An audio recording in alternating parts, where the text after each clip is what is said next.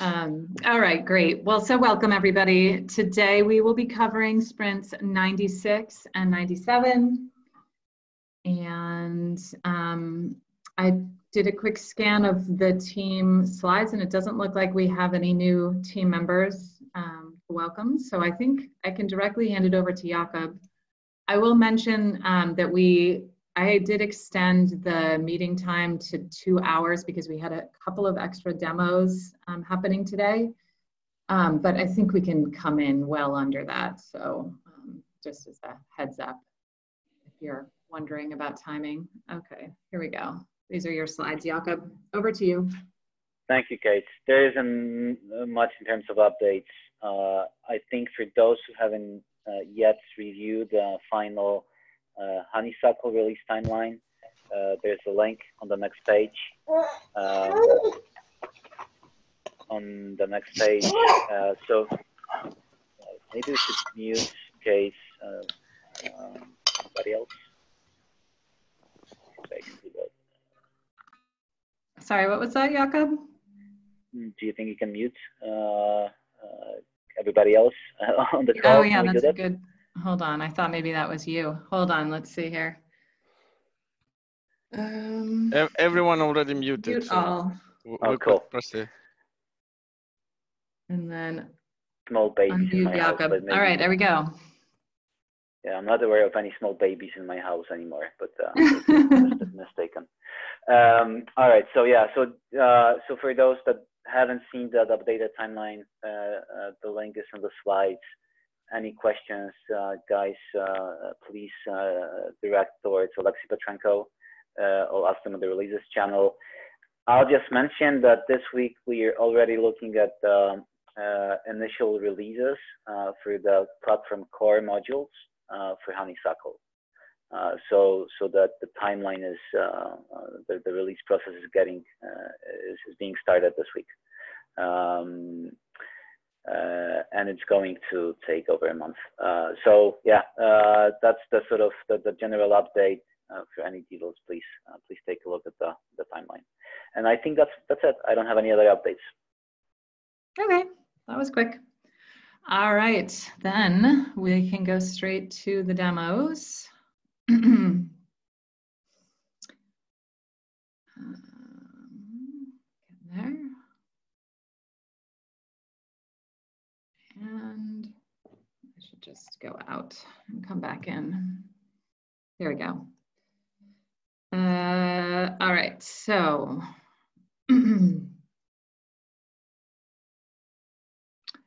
okay, it looks like Thunderjet is first on our list here today. Andre? Or does Dennis want to say something? Uh, I think no, Dennis okay. uh, not on the call. So let me share my screen. I believe you can see it. I can. Oh, great.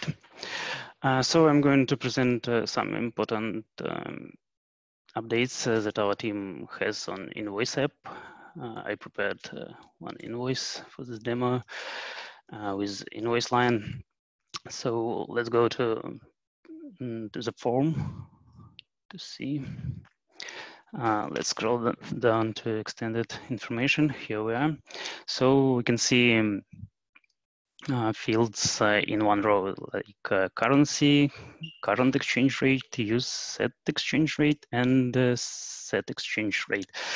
Uh, so based on the latest UX guidelines, if element may mm, become available for use, it should be visible at all times and uh, should be disabled until it's possible to change it.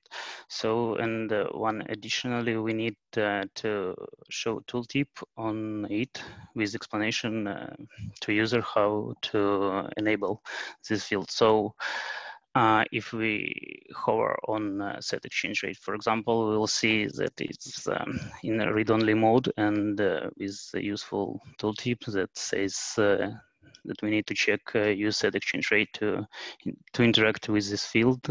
Let's try to do it.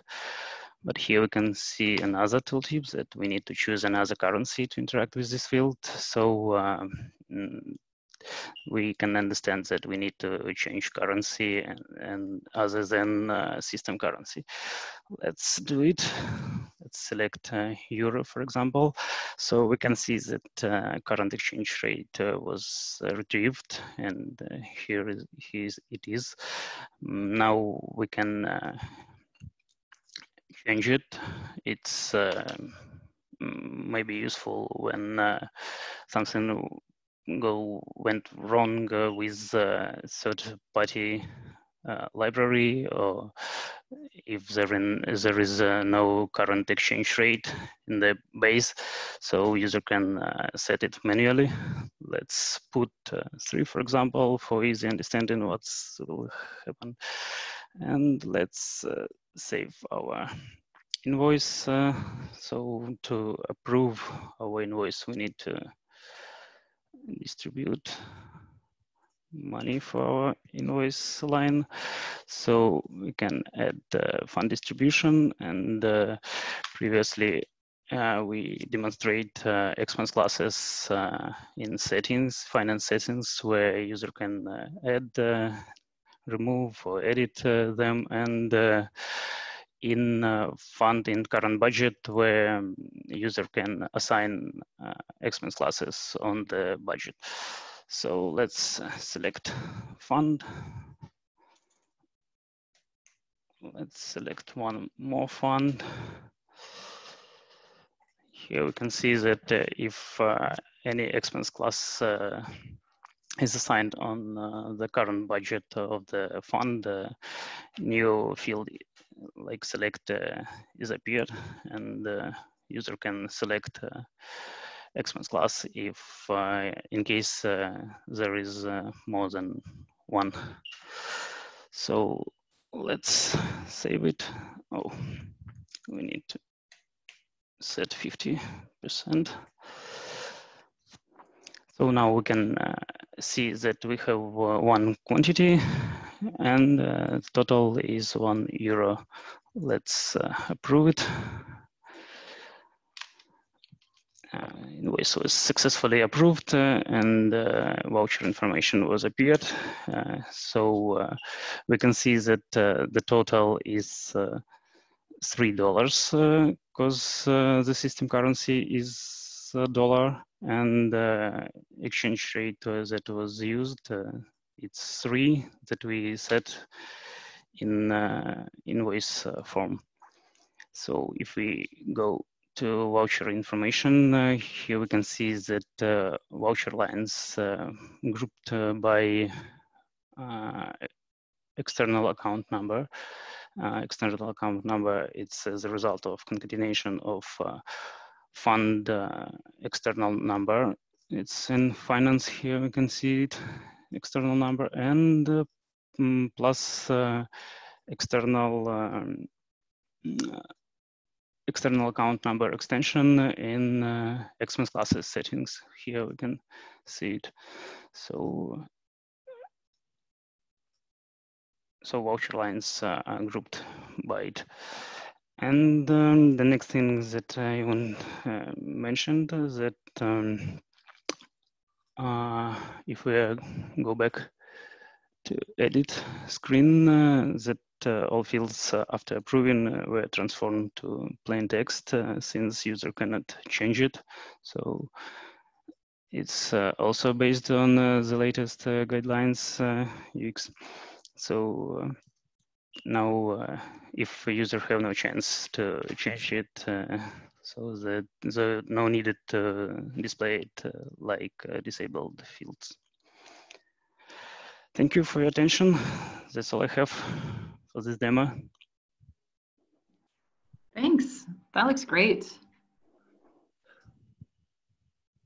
Okay. Um, all right. So I have Firebird next with Steph kicking it off. Hello. Can you hear me okay? Yep. Great. So today we'll be showing you um, a quick one story feature that we were able to pick up and complete. So we've added um, a service point filter to requests. And then we will also be showing you our progress with the circulation log. Um, backend work is still underway with this, so we uh, will be showing you um, the UI with some test data. And with that, I'll hand it over to Vlad. Okay, I will share my screen. Um, this one. I hope you can see it. yes. Great. Uh, I will start with filtering by pickup services in requests. And uh, now you can see that we have one additional uh, filter that's pickup service point. And when we choose some options, uh, we can see the list of requests. And in each request, you can see that uh, choose uh, option is available in this request. The same for another one. Yeah. And uh, about circulation log, uh, we implemented a new module and uh, there you can see a few filters to filter all um, records. And for example, we can filter by service points and then you can see the list of them. Uh, also, we can filter by item barcode, for example, this one. Uh, description is the same, and we have a few filters for uh, different types of objects. For example, loans, um, check out loans.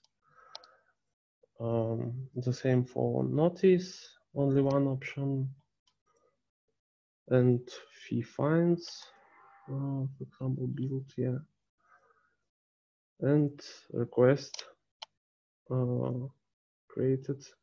Yeah, you can see this. Also, we add uh, new actions for each type of, objects. For example, uh, for fee fines, so we, you can see only three items in this menu. Uh, and for request, for example, you can see two items. And for notice, you can see uh, seven items. Mm, and that's it for demo from my side.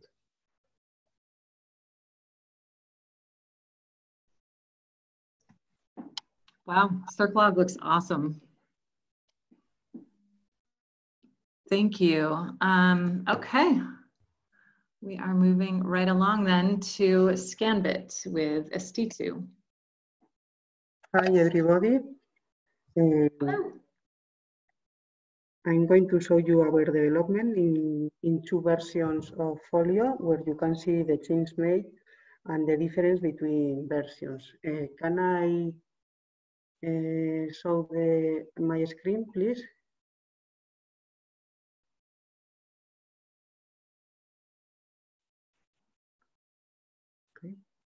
Yes, please do. Yes, I have. Uh, here, uh, uh, we one function is resize panels of, of search results. Here we, we have uh, different different panels. We do a search, we panels. We do and we show the the record information, and um, there are three panels that were static, and now with our development, you can move the panels like in inventory and other folio apps. And also with this development, we solve problems to show button and to edit records. I don't know if you can see this screen to, to see the, the difference because no,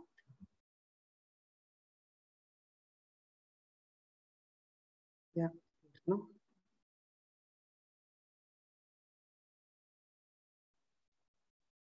Here we have a, an old version and here we can move the, the panels.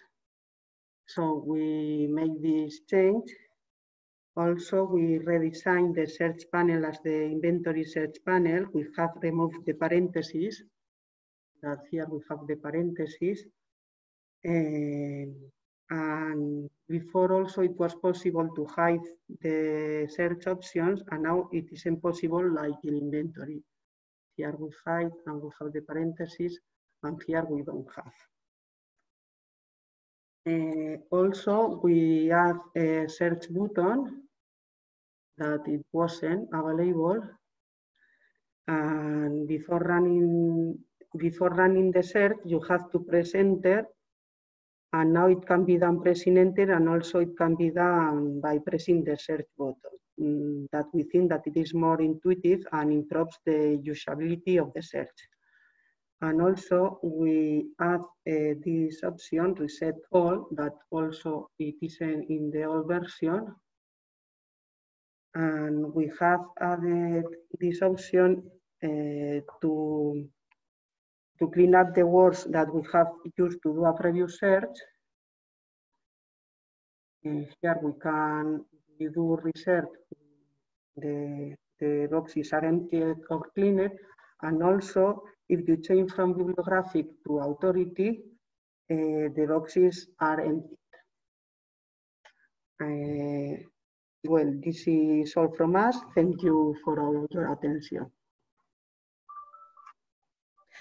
Looks good, ST2. It's nice to see the, um, the cleanup on the searches and filters, getting them more in line with the rest of Folio.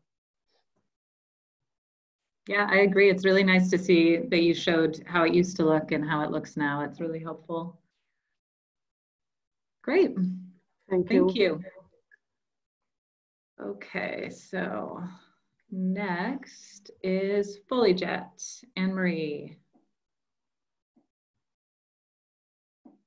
And I lost my unmute at the last minute. Okay, so we have a ton, lots of things have been coming together um, we have a couple quick UI things from Ivan and Igor, and then we have some more complicated um, matching related stuff from Volodya and deep in the guts of MARC records um, from Ruslan and Kate, but all very much wanted um, functionality from the data import SMEs. So Ivan, Estuto, you'll have to stop sharing your screen so Ivan can share his. Thank you.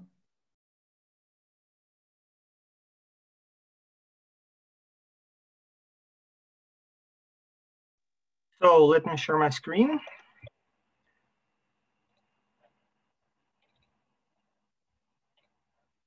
Can you see it? Yes. So uh, today, let me show you two small, but I believe uh, pretty useful uh, visual updates uh, that uh, have been implemented since last uh, period for the data import logs view screen. So first of all, let's looking through visual representation of data import screen before changes. Um, so first of all, uh, to enlarge content area and uh, to be more consistent with other part of our application, uh, the right pane have been completely removed and drag and drop area replace, uh, relocated to the uh, left pane, uh, like in data export, for example. So after our changes, we could uh, observe uh, drag and drop component at the left pane. I uh, want to mention that these components keep all its functionality and change only its location. So the second one feature is related to new status column in our uh, logs job table. Uh, this status uh, indicate uh, status of finishing uh, finish a job. So if a job finished without any errors and all um, entities have been created, so we can observe complete status.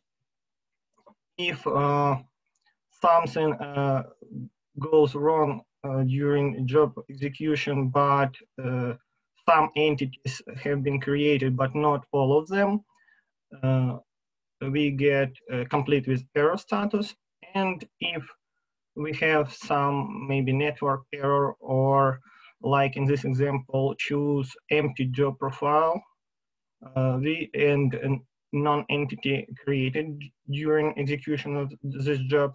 So we got failed status. Also, this column can be added to the view all screen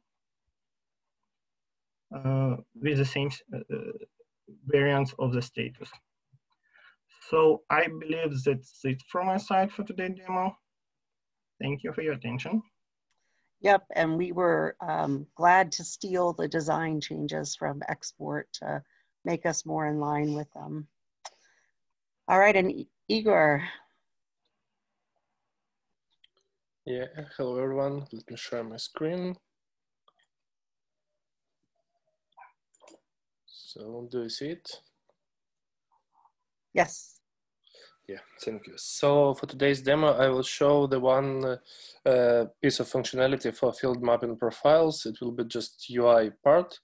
Uh, so uh, when we create a new mapping profile, let's call it like test.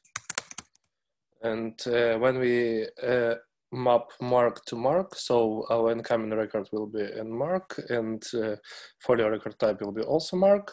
In this case, we'll have uh, two different options for this profile uh, to choose. It will be modifications and update. And for example, when we choose modifications, uh, the table for this part is appear. Um, we see the text uh, about we are modifying the record. And in this case, we should uh, fill in the required fields. In this case, for example, let's uh, choose action add. In this case, it's field, subfield, and data, and save it. After saving this mapping profile, we will see uh, on the detail screen uh, the same table with the same information. So in case when we want to uh, change our mapping profile.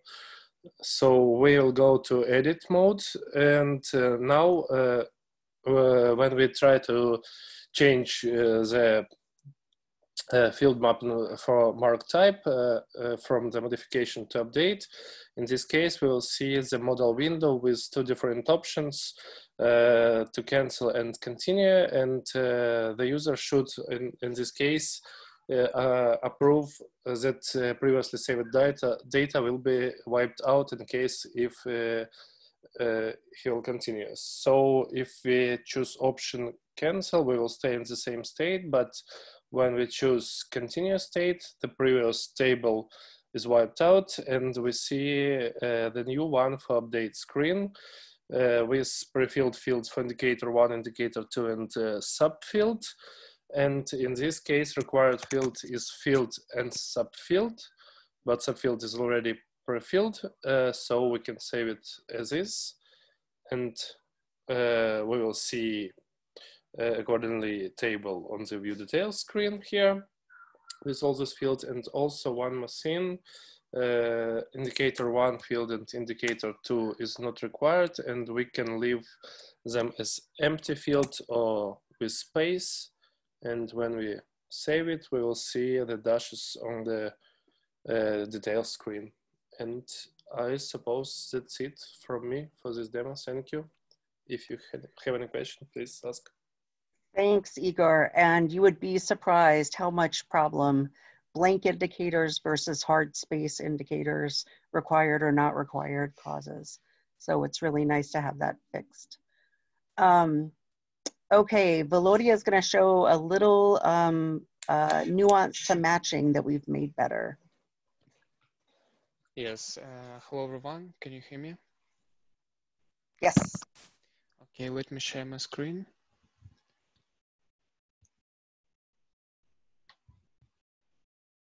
So can you see it? Yes. So uh, today I want to demonstrate you mechanism of replacing names with specific uh, IDs which were retrieved from settings. It will help to use matching logic more comfortable. So uh, we have uh, demo uh, profile job profile which create empty instance and holding with specific permanent location ID. As you can see, it's main library. So uh, I uploaded file and instance with this holding was created. You can see it's instance and here you can see holding with this uh, permanent location ID. So after that, uh, let's uh, create a job profile for updating uh, holdings uh, which will matched by uh, permanent location ID. So uh, as you can see, we have uh, this match profile.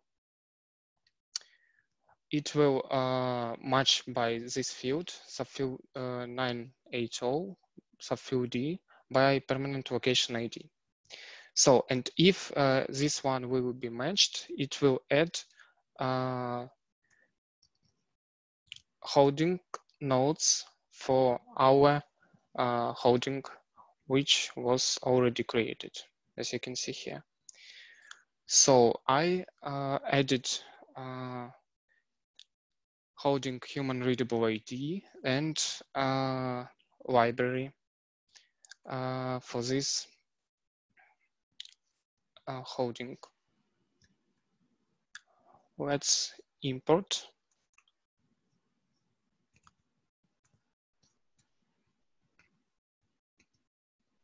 And choose this job profile.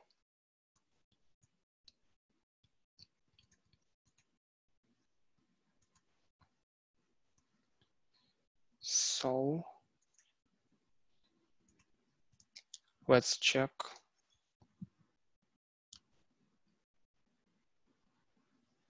Yes, and you can see that uh, it was matched and we update our holding, which were newly created and uh, new holding nodes uh, was successfully added here. So that's all from my side. Feel free to ask some questions. Thank you. So this one's a little tricky, but basically anything that has reference values that are controlled by UUIDs, you can match based on the text of that value, not uh, not on the UUID of that value, which is going to come in handy because most people don't know the UUIDs. All right, so the last two are um, complexities of MARC that we have been working on. Um, two really big things that have been asked for by the, the data import librarians. So Ruslan is gonna um, show all those MARC modifications, which is a pretty complex UI actually working and implemented now.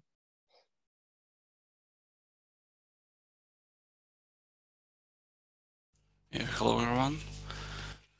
Uh, let me share my screen.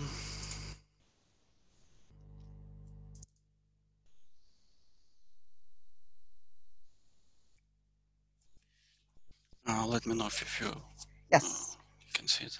Thank you. So um, to demonstrate MARC Bib modification, I'm going to use uh, this job profile with uh, following actions. Um, uh, here we have uh, modify MARC Bib action and then create instance. And after that, uh, modify MARC Bib to delete 918 uh, field from the record. so at first, let's take a look at the mapping profile of the last action. Here we have only one modification rule uh, to delete uh, 980 field from incoming record. And um,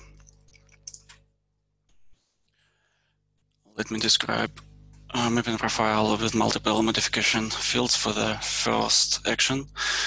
Um, here we have uh, these rules, and uh, the first one is to add uh, and create a new 264 field with one and uh, blank indicators, and uh, which contains ABC subfields and with these subfields data respectively. And the second one is to add and find existing 856 field regardless indicators, but with uh, U subfields and uh, insert uh, this data with the proxy URI into the use subfield or found uh, field before existing data in there. And uh, the next one rule to replace uh, a test string with demo string uh, in a subfield of 500 field with blank indicators. And then we have another one rule to remove draft string from a subfield of uh, 507 field and regardless which indicators. And finally, move data from 901 field uh, with the n subfield to a new 504 field with blank indicators uh, to the a subfield. So uh, let's import MARC record using describe job profile.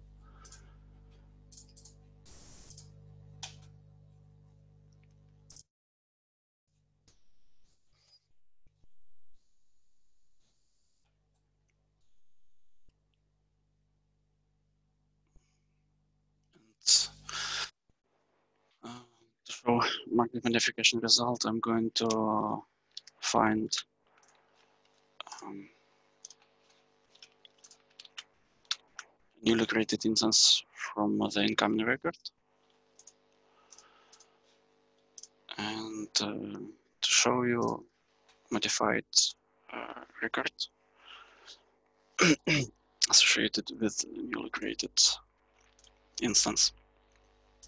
So according to our modification rule, we've add new to 64 field into the uh, MARC field, but uh, actually incoming record doesn't con contain this field.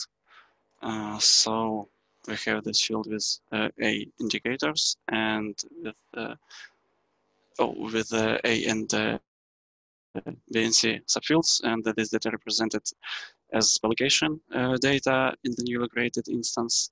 So then we've um, inserted uh, uh, proxy URI into the 856 uh, field um, before existing data.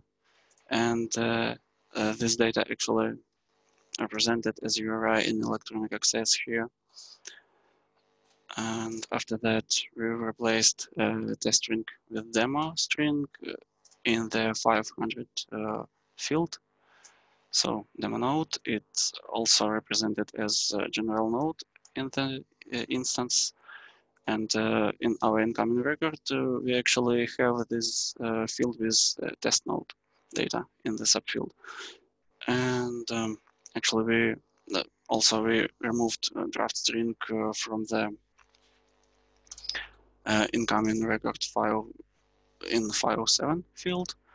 So uh, this uh, string uh, doesn't exist in modified field and in the mapped instance as well. And finally, we moved data from 901 field to newly created uh, 504 field with a indicators. Uh, is this data represented as bibliography node in the mapped instance. And um, uh, beside, uh, so this uh, 901 field uh, contains only one field. This uh, field uh, has been removed from the modified record after data movement.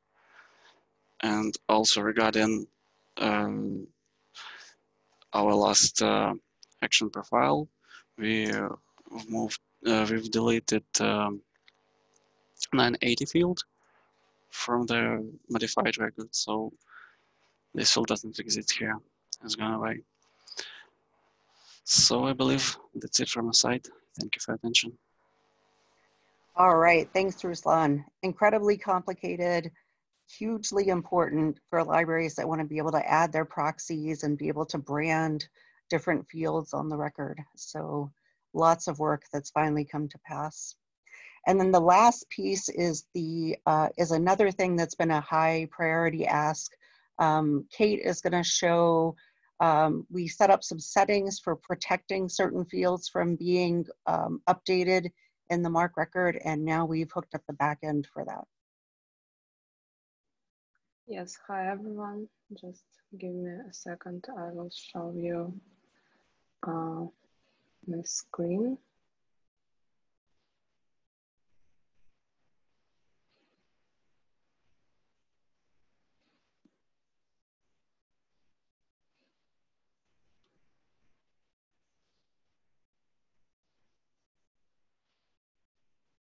Can you see it now? Yes. So uh, to apply the MARC field protection settings, I went to the settings, data import, MARC field protections. And here we have the ability to create a new, uh, edit the existing one or delete the uh, MARC field protection setting. Um, so to uh, protect some a specific field in the incoming MARC, we can specify the field, indicator, uh, subfield, and the exact data that can be that should be matched uh, to protect the incoming field. Or we can leave out the data and specify just the field, indicators, and subfield. Or we can leave out the indicators and specify only subfield or we can protect any field uh, that has the uh, subfield B, for example, and the exact data bibliography. Uh, please also note that uh, we can create, edit, edit or delete only uh, the user um, uh, rules, but we also have some system predefined protection rules for MARCs uh, which cannot be deleted or updated and they will always be applied to the incoming MARCs. So those are 001 and 999FF fields. Um, before I go ahead and um, import some um, file, uh, let's review the job profile that I created to demonstrate the protections. So it's a simple job profile that will just create the instance and the modify the incoming MARC. And if we see the action, we can see the uh, linked MARC to MARC mapping profile. And it has some, um, some fields specified that I want to, uh, to modify from in the original record. So I would like to delete 035 field. It was not protected by the settings. Uh, I would like to edit 245.00a subfield. Uh, but as you can remember, uh, we have a rule that would protect this field as well as 338. Uh, we do not have any protections for 500 or 505 fields. And uh, uh, we also have some uh, protections for 700 fields. So let's just go to the data import and uh, import the file. Here I choose my job profile and click run. So in a few seconds, uh, this job should uh, complete. And we can see the log. Uh, we could scroll down and review this uh, imported MARC, but uh, I believe it is better to search for the instance that was created based on the imported MARC and just view the source that was uh, saved in the SRS. But here in the instance, we already see from the title that it was not updated. It's to protected 245 field. Uh, and now I would try to show you the original. Okay.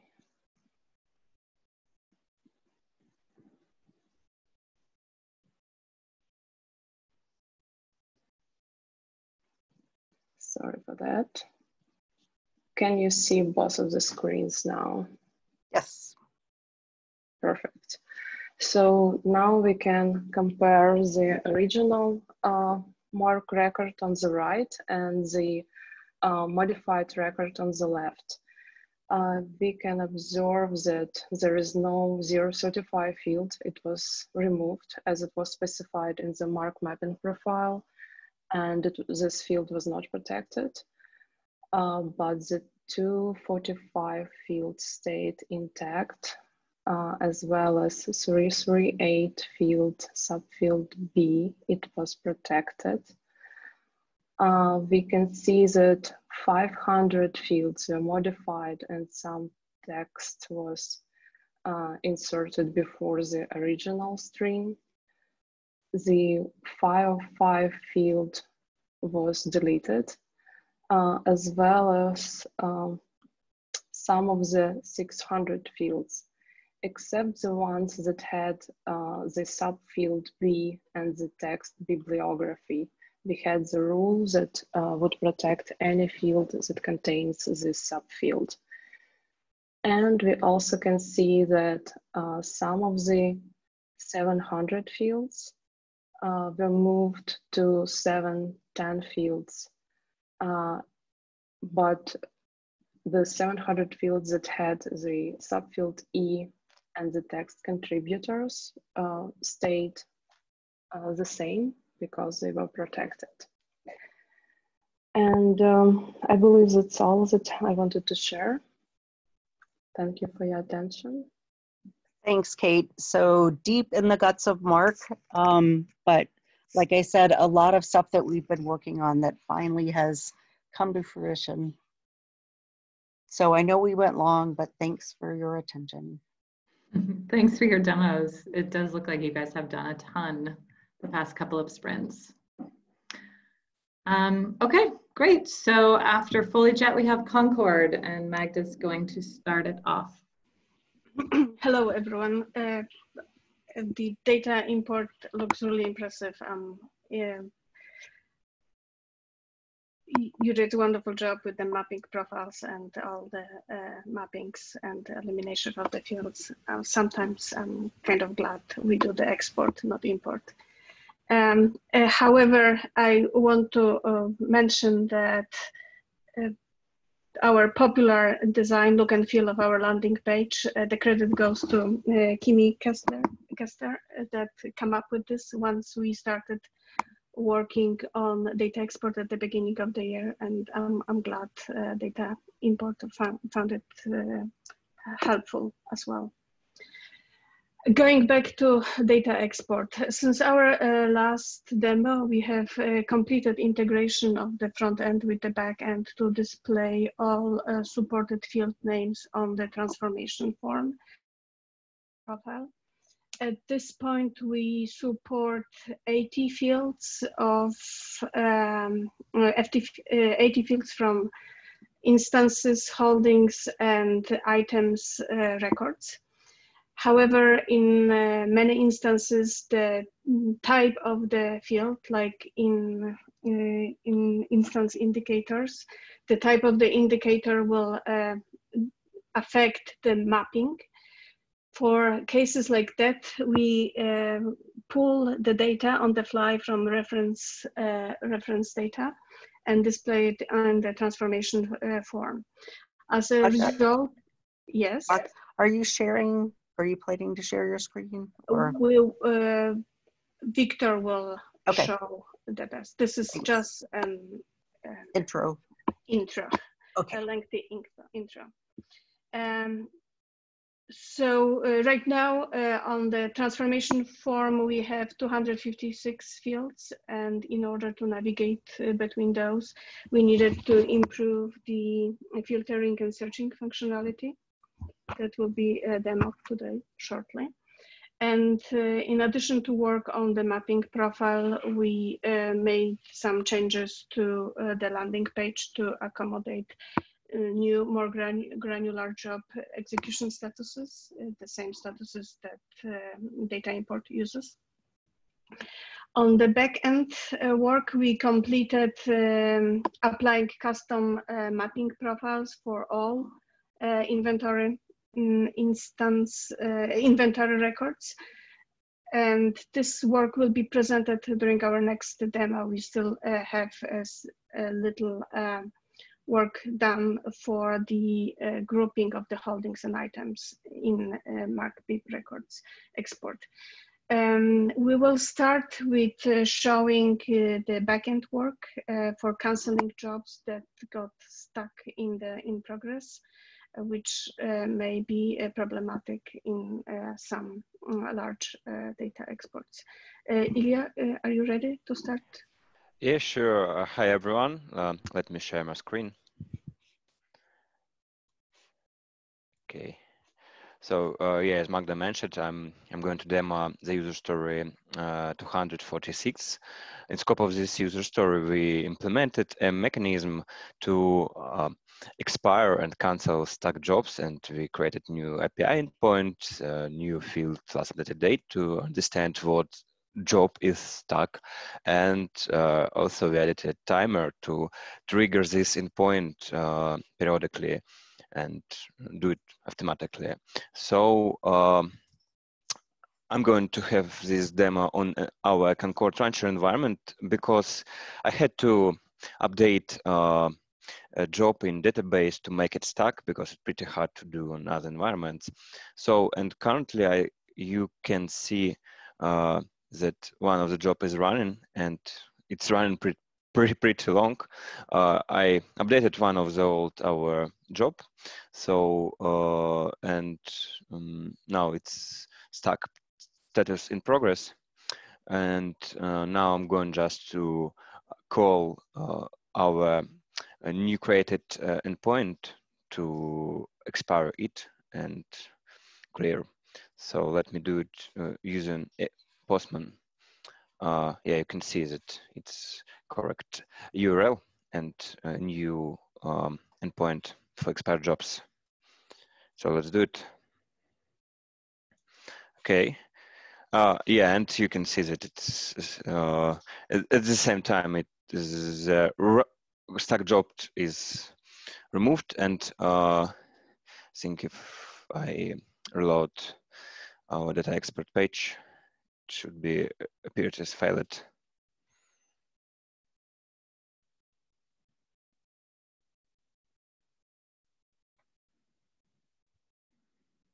Mm.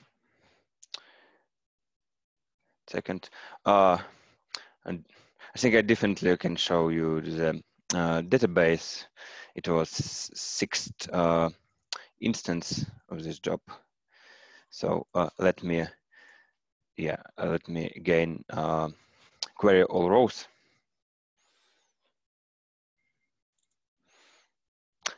Yeah, and you can see it's fail, and let's check uh, maybe the name of it. And yeah, definitely search instance UID and with the 915 in the end. Uh, so I think that's all from my side. Thank you. Thank you for attention. A small comment. The, the reason we uh, didn't see uh, this job is most likely uh, because the landing page shows only 25 most recent, recent ah, job. Yeah.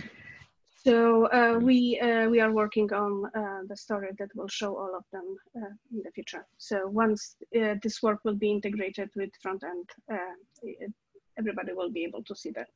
Thank you, Ilya. Thank you.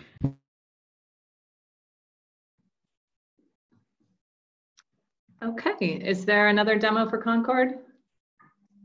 Uh, yes, uh, hello guys, it's Victor from Concord and I'm going to present you with uh, my part and uh, first of all, a couple of updates on the landing page.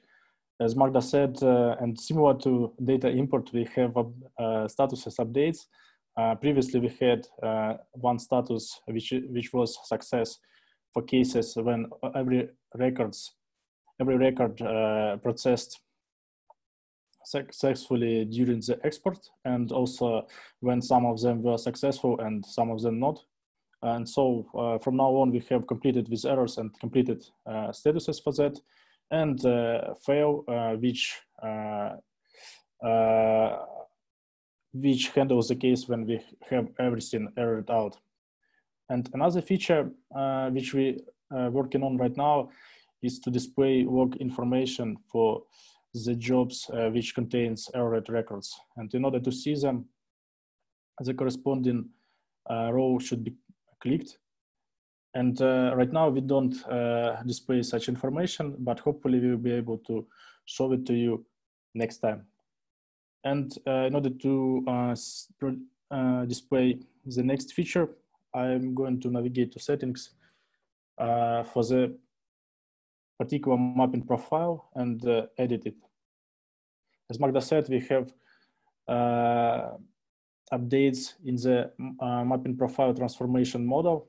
And uh, we completed um, integration with uh, the backend and um, display 256 fields right now based on the reference data in the reference environments. Uh, previous demo, we mentioned that uh, those uh, fields are generated on the fly. So in case of this reference data changes, the way uh, this information will be reflected here. And um, it's also worth mentioning that field names which we see here are localized. So we do it uh, by uh, mapping uh, display name keys from the backend to the actual uh, translations uh, on the UI.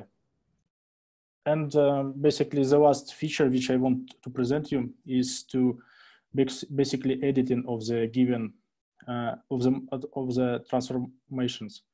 So in order to do that, uh we can we can uh, add a couple fields which I want uh, to populate is meeting name. So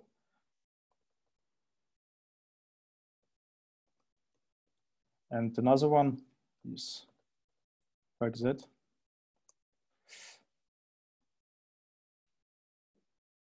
And uh, I forgot to mention that we also added the transformation status, which uh, helps us with uh,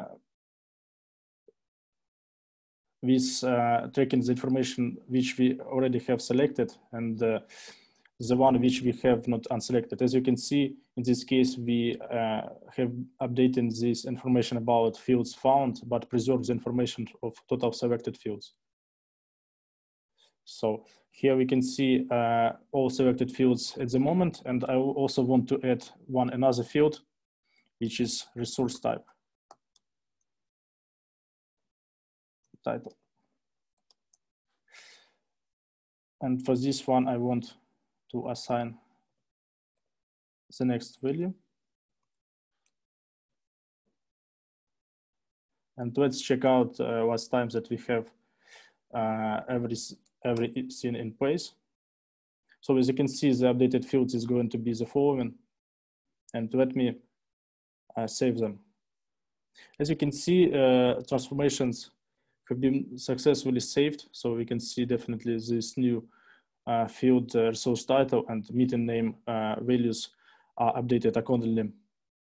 In case if we decide to uh, do additional adjustments, we can uh, hit this edit transformations uh, button again and uh, do the corresponding changes right there. But this time we don't want to do that. And the last action is to save the given mapping profile. And we can see that everything went successfully. So that's uh, all from my side. Thank you. If you have any other questions, uh, please ask. It's going to be great to have all these additional fields. It's wonderful to see. Thank you. Good. All right. Well, thank you, Concord. Uh, Vega is up next with Alex. Hi, everyone. Let me share my screen.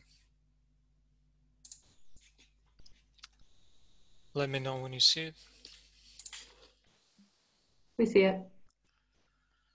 Okay, so today I want to show you some of the work we've done in mod fees fines, namely in the field of fee fine actions. And uh, by fine actions, I mean the things you can do with uh, these buttons. As the name suggests, they allow you to pay, waive, refund, transfer, or cancel a fee or a fine.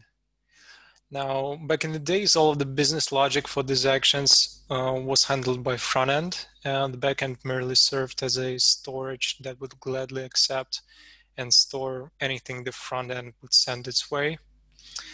And this architecture potentially made it possible for the malevolent user to change the fee-fine data arbitrarily, even through the UI or it could potentially cause data corruption due to mishandled concurrent modification of the same data by different users. Um, just to show you what I mean, I can um, before these changes, I could just duplicate the tab with um, the details of the same fee fine and in both tabs uh, perform say full payment of the same fee fine and the backend wouldn't mind it would just accept uh, both requests. Now, obviously, this is not very secure, and considering the fact that this functionality handles financial transactions, uh, its abuse could potentially lead to real financial damage. So, in order to close this loophole, it was decided to move the responsibility for handling these actions from front end to back end Uh, and much of these changes is not exactly new functionality, was more of a large scale refactoring. And as a result, we now have a dedicated endpoint for each of these actions, each with its own set of validations and custom business logic. Uh, our UI did not adapt these changes yet, but once it does, it should look exactly the same and the end user should not notice any difference. But uh, under the hood, it was a sizable amount of work, so we're excited to show it anyway. So the way it works now, I have um, I have a fee uh, that I just created for $100 and let's try each one of these actions. I will uh, issue the requests manually, but the results should be visible in the UI. Now, as I said, we have a separate endpoint for each of these actions and each one has its own set of validations. So um, now um, it is not allowed to um, make a payment for a negative number or zero or uh, the amount that exceeds uh, the fee fine initial amount. So it will not allow me to do this. It will say the requested amount exceeds uh, the remaining amount but it should allow me to do this. I just made a payment for $10 and if I refresh the page, yeah, we will see that there's uh, a new action, a partial payment for $10. And um, the transfer works uh, the exact same way. It has all the same checks and validations. So if I make a transfer for $5, the UI should reflect it. Yeah, we have tra partial transfer. Uh, same thing with the waive.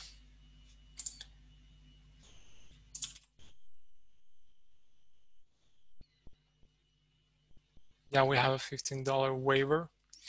Um, now the refund is a little bit different. First of all, it's a completely new functionality. We didn't have that before and um, its business logic is very different from uh, all of the other actions.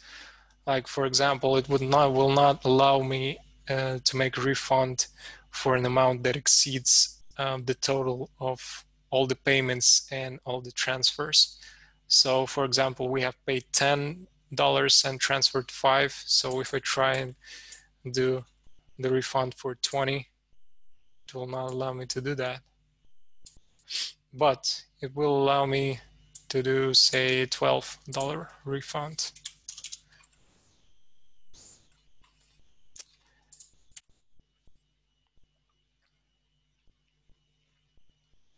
And as you can see, we have a whole bunch of new actions. Um, this is because the uh, refund creates a credit and the refund action for uh, both uh, the payment and uh, the transfer and um, also the payments are handled first so we have a we have made a $12 refund and it fully covered the payment, the $10 payment. As you can see, we have $10 credit and $10 refund and uh, partially covered the trans the $5 transfer. So we have credited and partially refunded um, the $5 transfer with $2. And of course, we can do cancel as usual. The, this is the action performed when you press uh, the error button. It also closes the fee fine. Yeah, as you can see, the fee fine is now closed. And this is pretty much it. So once this functionality is fully integrated into the UI, it will make processing of the fee fine actions uh, more secure and more reliable. And this is it. Thank you. If you have any questions, I'm happy to answer.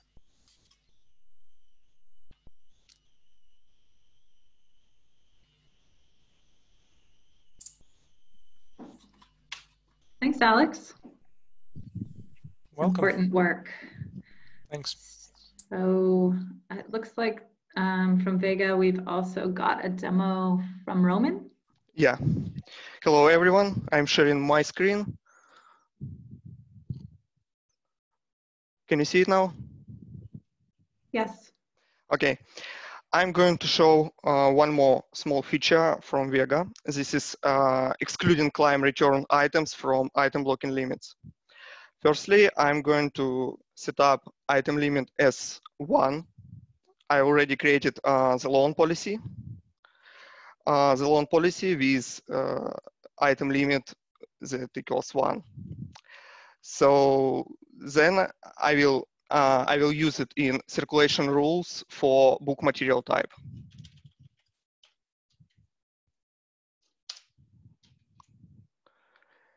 Save. And secondly, I'm going to check out two books. Uh, first one should be check out it checked out uh, successfully, but uh, the second one uh, will be rejected because of the item limit. Let's do it.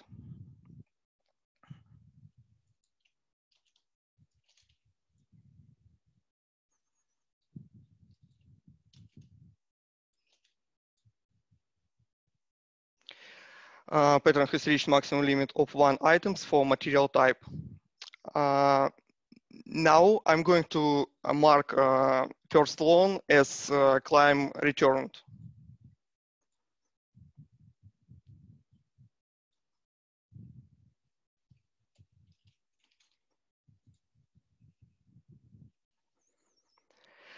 And then I'll try to check out the second item again.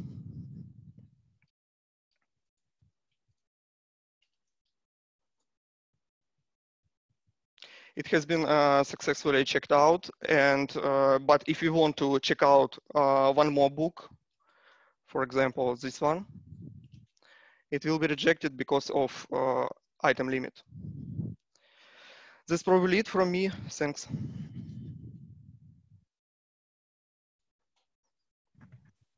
Nice, item blocks. Great to see that. Okay, so after Vega, we have core functional. Um, Bogdan and Sergey are going to show some of the work the team has been doing on um, aging items to loss, so age to lost and the state transitions and fees and fines that go along with that, um, plus um, our the remaining work on fast add and some other small features. So over to you, Bogdan. Hello guys, let me share my screen. Okay.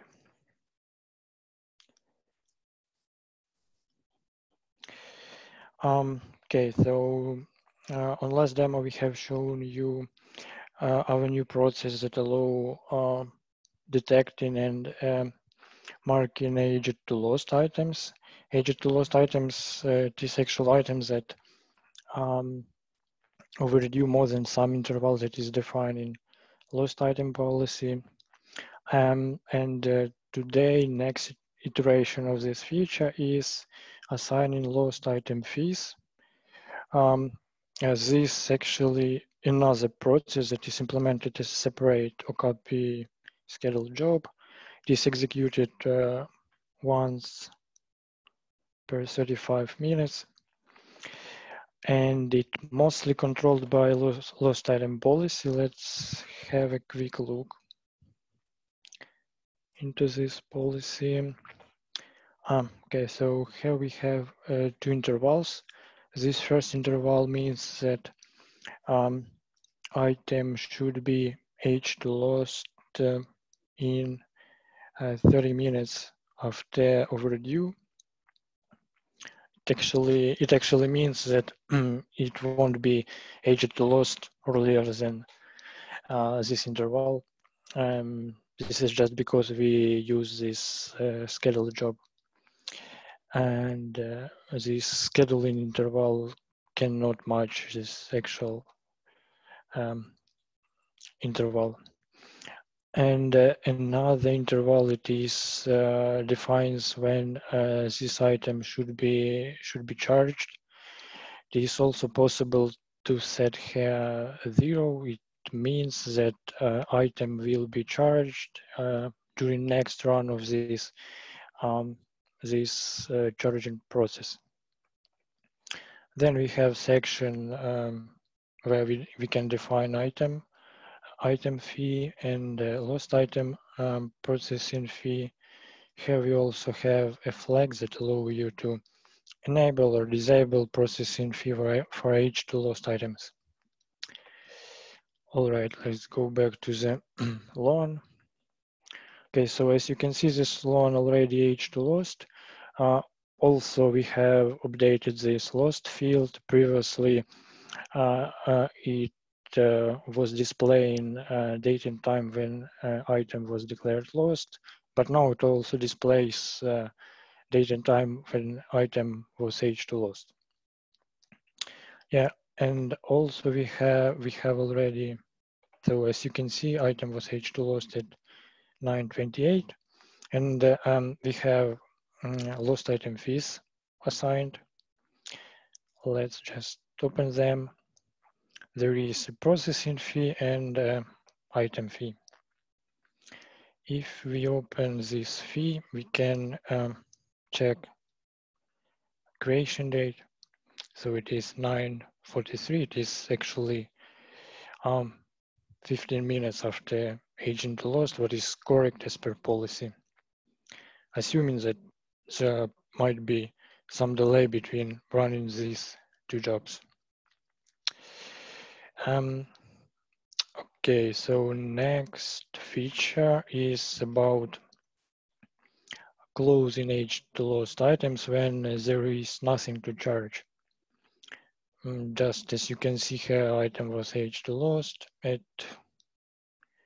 958 and then uh, this charging process uh, was executed and it is decided that uh, nothing has to be charged and um, we can easily close this loan as and uh, mark the item as lost and paid.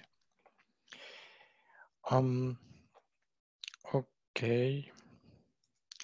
Next block of features uh, related to declared lost items. Um, when um, it is possible now to uh, renew a declared lost item, um, when uh, there is some uh, lost fees and fines assigned to, to the item, during review we should, uh, we are now able to um, cancel remaining amount and refund what is already has been paid or waived or sorry paid or, or transferred um, let's just try it. Okay, so it is just usual renewal. It is failed because we need some extra permission um, to override declared lost item. Let's click override. Okay, so item now has checked out status and um, yeah, and uh, lost item fees now cancelled both. Okay, yeah, and uh, another small small improvement related to um, default uh, PubSub user, uh, we have updated um, uh, we have updated this user with uh, last name property. It is now system, and it allows us properly display source when item is uh, automatically closed when related fees and fines uh, were resolved.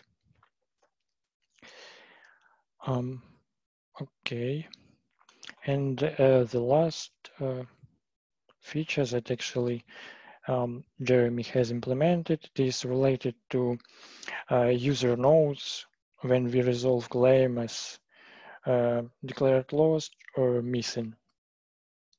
So here I have a claim return item. When I now try to resolve claim as missing,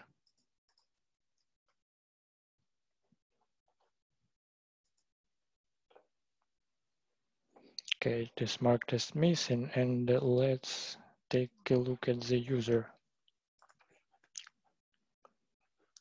Yeah, here we have created a user note that saying that item was claim returned, but um, then it was marked as missing.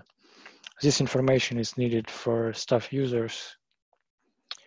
Um, that's actually it, what I have to show. Any questions maybe?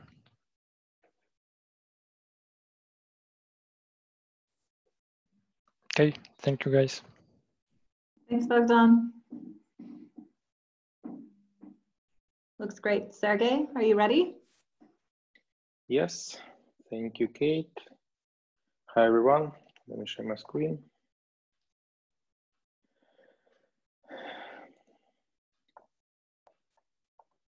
Uh, let me know, Kate, please, if you can see my screen. Yeah, we can see it. Oh, great. I'd like to start with a couple of small improvements uh, to the inventory application. And first of them is when we view holdings record in detail view, the action menu now has the same item order, edit, duplicate, delete. Uh, that, uh, that uh, already set in instance action menu, edit duplicate, or in item action menu, edit duplicate delete. Um, next improvement is also in inventory application. And as you can notice, the holding accordion with empty list of items is collapsed by default and uh, in open mode, you cannot see any rows with dashes uh, like you did before.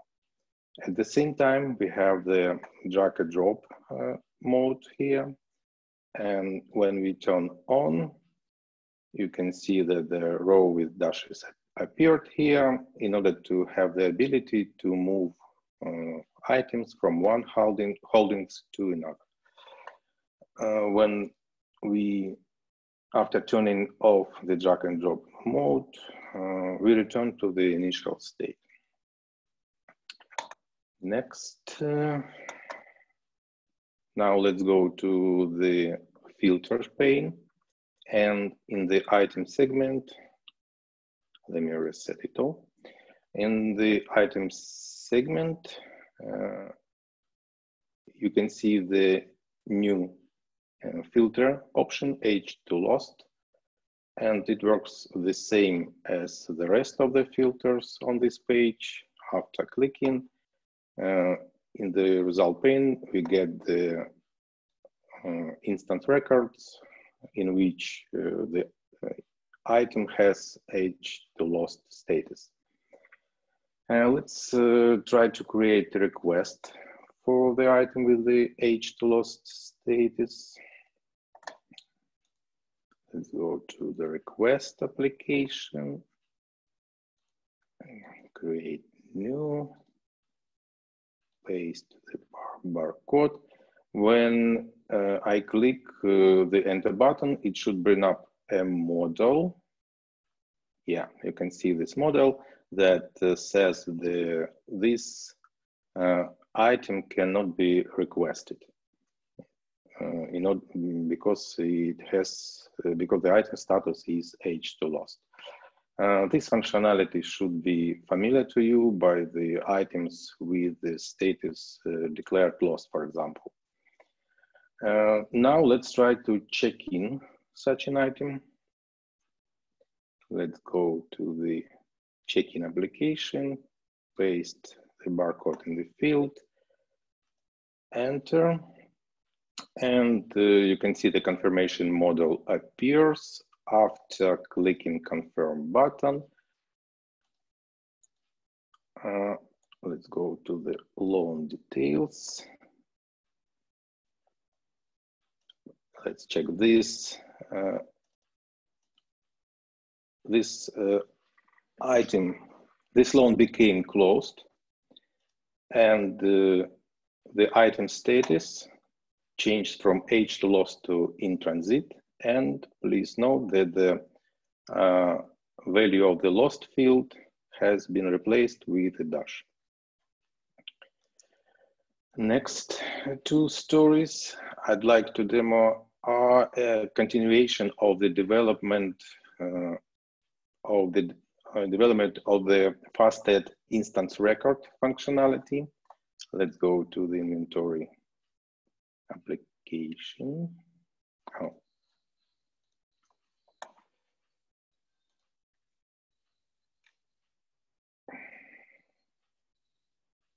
Where's my inventory? Sorry, I need to reload my page. Ah, here you are. Sorry. and uh, let's take a look on the new fast add record form. And at that moment, we have the ability to specify uh, default suppress from discovery and instance status from uh, uh, depending on the values uh, in the FastAdd settings page. Let me show how it works. Let's go to the settings, inventory. Fast, uh, you can see that uh, the new option, uh, new setting, FastAdd, appeared here. And we have two selectors, one for default instance status, another for suppress from discovery. Uh, let's select uh, temporary, for example, and no for suppress from discovery, save. Uh, let's go back to the inventory, reopen the form, and as you can see, the default settings have been submitted to this form. And finally, the story that's definitely worth to be shown in today's demo, although it's actually a bug, um, but I could call it uh, improvement as we now got the ability to assign a lot of permissions to users more efficiently. And uh, to better understand the problem, I'm going, I'm gonna go to the Bugfest Goldenrod environment and uh, I'm gonna assign a lot of permission to the user. I already create uh, the user, here it is, and uh, there are no permission for, for him. Let's edit and add and add in,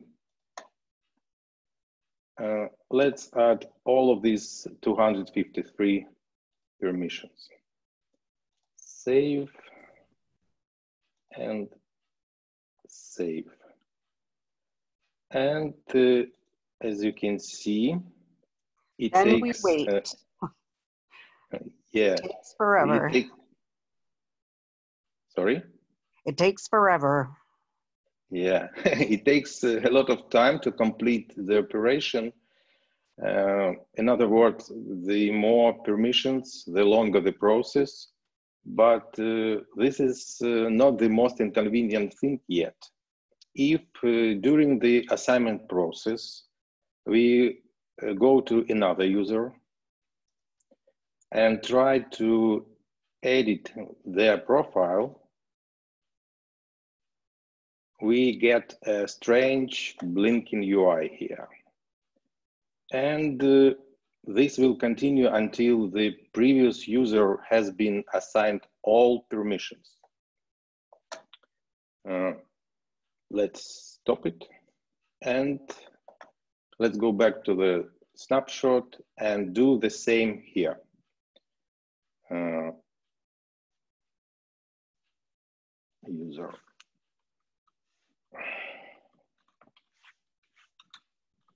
I'll switch to users.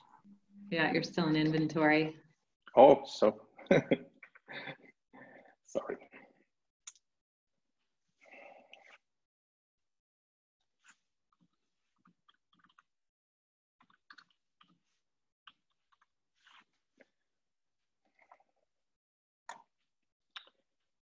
Yeah, we can have the user here and let's do the same here. Edit user permissions, add permissions. We're gonna add all of these more than 200 permissions. Save, save, and here we go. Whoa. everything, That's everything, yeah, yeah, everything happens instantly and doesn't affect any other users. We can check it, reset, uh, edit, it works correctly. And that's, that's basically because uh, before that we had uh, the process of the one by one permission permissions assignment with multiple requests. Uh, in other words, one request for each permission. And now this process has been replaced with all in one assignment in a single request. Uh, the idea of how to fix this bug was suggested by Julian, and the implementation work was done by Matt Connolly. Thank you, Matt. Great job. Uh, so that's all I wanted to show you today. Thanks for your attention. If you have any questions, please ask them now or maybe later. Thank you. Wonderful. Thank you. okay. All right. And on that high note, we are going to turn it over to Thor, um, which has, um, the Thor team has two demos today. Um, and the first part is a G, some GB, GBV work. And Martina Schild is going to do an intro there. Thanks, Kate, and hi all. Yes, I'm happy to give the intro to the current status demo on the CBS to Folio API and about the background for this project of index data and GBV. And if you could click to the second slide, Niels Erik, that would be great, thanks. Um, all GBV libraries are cataloging their resources in a central database from OCLC called CBS. And cataloging is done using a client software also from OCLC. Folio is to replace the local ILS, and that would then include inventory. So the starting point was the bibliographical data that a library holds needs to be initially loaded from CBS to inventory. And then, as a routine, every time holdings and items are added to a newly created or existing bib record in CBS, the data needs to be delivered to inventory as well. And every time records are edited in CBS, the inventory instance, holdings, and or items need to be updated too. Data management includes create and edit, as just mentioned, and delete and move holdings and items when triggered by the external source. So all your work is going on in CBS and inventory is basically a copy of it. Is that right? Yes, our cataloging work is done in CBS and then the copy is in inventory and there we would link to the um, acquisitions data. And that's mm -hmm. how it works at the moment with the OCLC LBS that we have or ILS that we have. And this will be the same then with Folio that's intended. Okay. And the overall concept that is quite complicated maybe will be officially and in detail presented in a separate demo as soon as it is finally completed. So yeah, that will be soon. And with that said, I will hand over to Charles who will do the demo. Yes, um, right. So we have uh, four components that are, are kind of doing this, this work. Um, so we have the, of course, the, the cataloging system, the CBS cataloging system.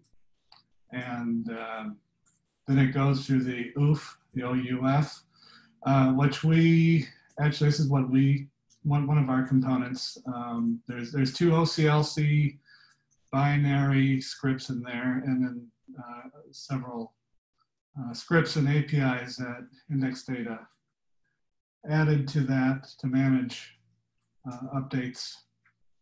And the OUF creates XML records from Pica Plus. And then it will send it to our, our harvester software, which does the conversion from XML to uh, inventory uh, XML for Folio uh, and, and actually into a JSON format. And then, and that will use the mod inventory update module to insert new or update records into the fo targeted folio system. So that would be um, basically what happens there. And um, and there's a, another slide that will show more in detail what each, which happens on each, uh, each leg of the trip. So uh, yeah, so we just have a cataloging system there. Um, and it sends out an update signal when, when something is updated or added. Uh, the API, the OOF API, then um, has this binary script that's sent by OCLC to create an update signal file. And then we have a Perl script which reads the file and creates fetch files so that the OOF fetch script can, it knows what titles to fetch from the central library system.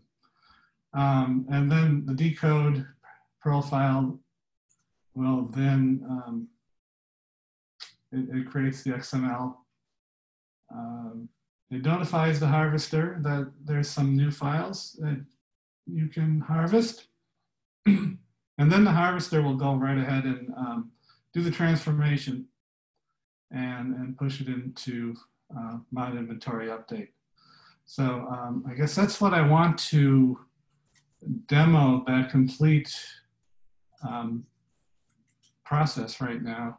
So I will um, share, first of all, the cataloging uh, software, the CBS cataloging interface. Uh, this is um, runs on a Windows platform. So I'm using this on a, a, virtual machine that has a Windows server on it. And it, it works, works fine for these purposes for testing. So I will uh, quickly add a new record. And this is in a format called uh, Pica 3. And um, so I'll have to insert new record. I will I will paste that text into that. Um, I'll hit enter. Now that this creates a new record with the control number, this control number right here. Now it will go through some of our software and uh, let me share. I'll switch to my um,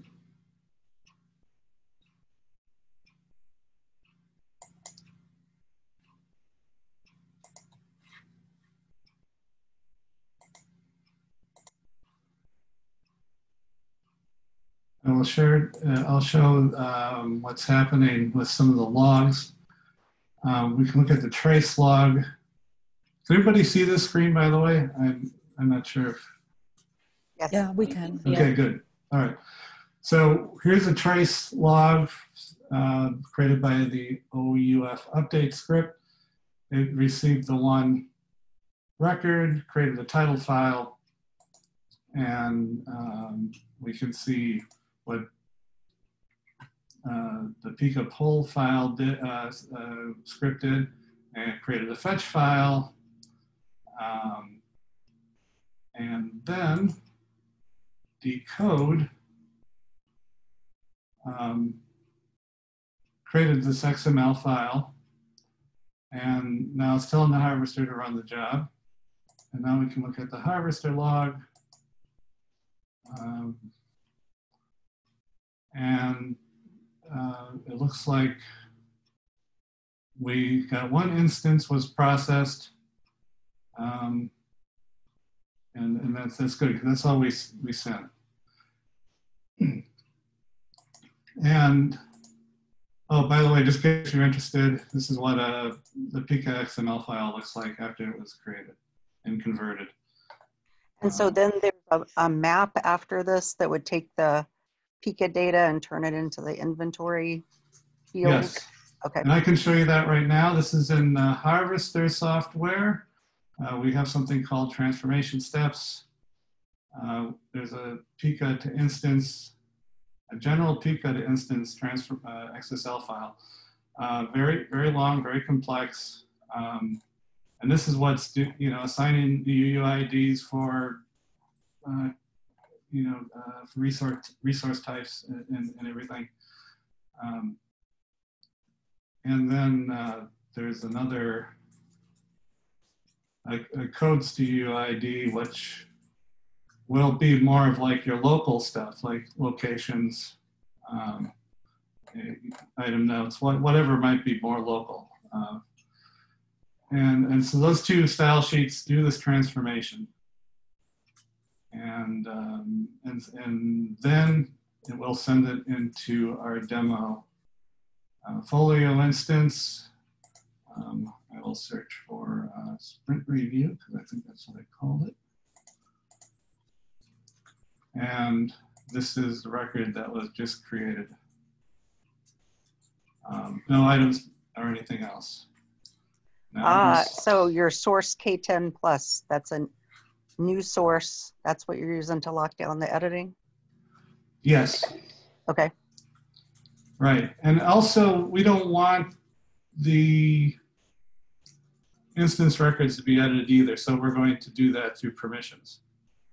So uh, instance will not be editable by any, by most people. Gotcha. All right. So uh, I'll go back to the cataloging uh, screen again.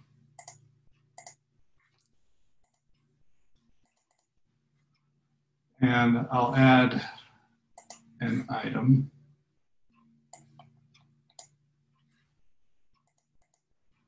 So let's see, insert E1. This means insert copy one. Paste some data in there. And now it added the item record. And soon it will go through this pipeline and probably like in under five seconds should we should have an item record if I refresh this. Ah, there it is. So we got the item record with the test holdings call number. And uh, so, You can't see We inventory don't see it. right now. oh, I'm sorry. Yes, right.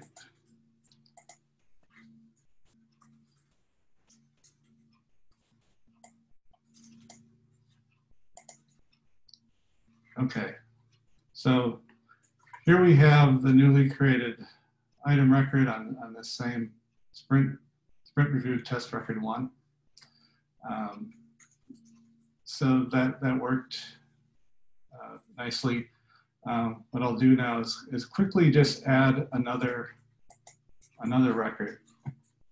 So any edits to the holdings or the item records is going to happen up in CBS. Is that correct? That is correct. In Okay. fact, That's um, interesting. Yes, that it is, and it's all done in one one spot, and um, so right, it, it all it all comes through. Um, You could say will- CBS is the, the source of truth for this system. it is. It's it's very The truthful. source record storage, as it were. Yes. Yes. um, I'm just going to quick insert another record. You don't need to see this, but um, I just want to put in another bib record quickly.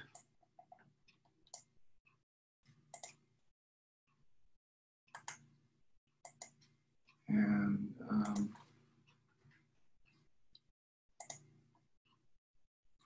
so we should see if I refresh, uh, if I redo this search,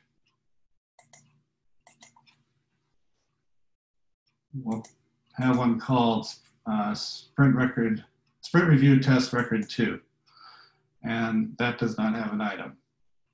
Now we do have this uh, ability to, um, I'll go back to sharing the catalog screen again.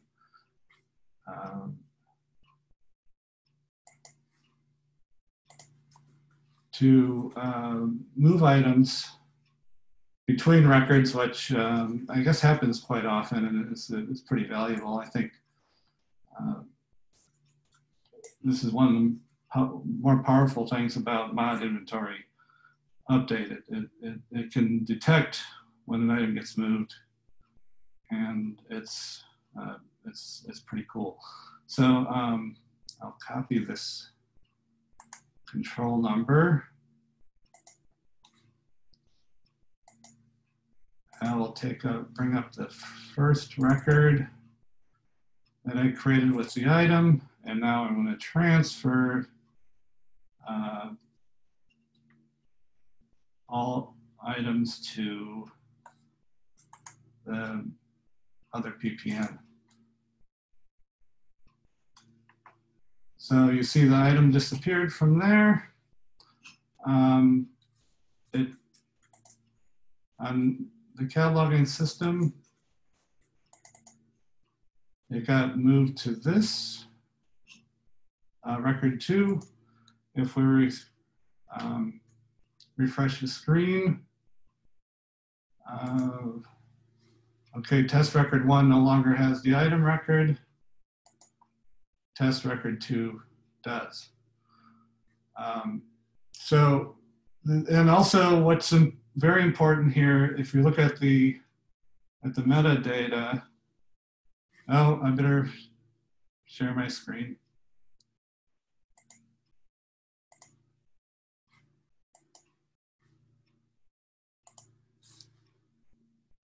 All right, I'll go back. Uh, test record one had the item record, but no longer test record two does have it in here. Um, and we'll notice that the, uh, the original create date is uh, was four minutes ago, but it got updated when it was transferred. Uh, you know, just because it got a new instance ID or holdings record ID. So this is um, this keeps all connections to order records, loans, uh, whatever else needs to be taken, you know, kept track of when, when an item moves. So, um, I, oh, and then one more, one more thing. Uh, it also will delete records. I'll go back to the cataloging system again. Um, if I want to say delete this record along with the holding, I can just hit the delete button here. It will delete it from the cataloging system. And now I'll go to back to folio. And I'll redo this search. And test record two is no longer there. Only test record one. So it does it does everything. Whoa. That's great. Yeah, this looks great. Thank you, Charles. You're welcome. Looks like there's some questions in chat as well. So Lots of conversation. Really Nice interesting. conversation. Yeah. Yeah. Thank you for sharing. Uh, my pleasure. All right. And with that, oh, and actually, is Niels Erik also going to demo something on this? Yes, Niels Erik is next now. There. Oh, okay. All right. Yes. So I'm gonna uh, show you uh, uh, a bit about the uh, internals of uh, uh, Mod Inventory Update, which is the module that was sitting at the, the end of that process that Charles just des- described just before, just before you get to um, inventory storage. So what we have in, in the middle here is uh, uh, uh, the mod inventory update. Uh, the input to uh, mod inventory update is what I call um, an inventory, uh, oh, it's good, need to pay, inventory uh, record set. Uh, so it's, um, it's a structure uh, that uh, the harvester, in this case, construct uh, containing an instance uh, and in, in the case of uh, GBV and CBS, uh, everything is uh, uh, uh, has uh, human readable IDs uh, attached uh, when they come to inventory update. So there's an instance with a HRID. There are holdings, one or more holdings with HRIDs and uh, one or more uh, items for each holding uh, uh, with HRDs uh, embedded into each other. Uh, I have a, a, a, JSON file that shows uh, what it looked like. So, so this is uh, this is basically what um, what Charles was sending by means of the the the, the harvester transformation pipeline uh, to mod inventory update. So you have the instance up here, uh, a very short instance. So there's actually a problem with that. Uh, but that's because Charles just showed you the happy path. So I'm gonna show you instead some of the error scenarios that the module handles. And it has Niels? holding records. Yeah. I'm sorry to has- interrupt. I just Yeah. realized we have still the Z3950 demo and also um, Anton needs to do an update that he absolutely needs to do. So not to cut you off right in the middle, Okay. but if you could just find I'll, I'll uh, hurry up. that'd be awesome. Um. So, um, so the uh, inventory update uh, is uh, structured uh, internally with a, a model of what needs to be updated, and that is based on the incoming uh, uh, record. And then it will, of course, ask whether the record exists already in inventory storage. And if it does exist, it will pull in that existing inventory record set, which is the same structure that it has here. It will then take uh, the, the incoming uh, record set, uh, which I call the model. It will populate it with the UUIDs, either create new ones if they, the, these records don't exist already, or pick uh, the existing UUIDs based uh, on the uh, human readable IDs from the existing inventory record set. Based on that, it will create an update plan. So it will plan uh, exactly how to update inventory storage uh, uh, to, uh, to uh, replicate this model uh, in inventory storage.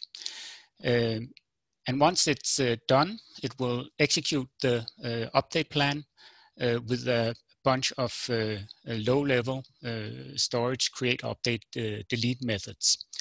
And uh, finally, it will uh, uh, return a report with the update matrix and with the errors. The thing is, this is an aggregate update where you can potentially upgrade many, many records, just one instance, but many holdings, many items, and you need to know what went wrong in, in each case. Um, so if I quickly um, I can uh, try and uh, send this um,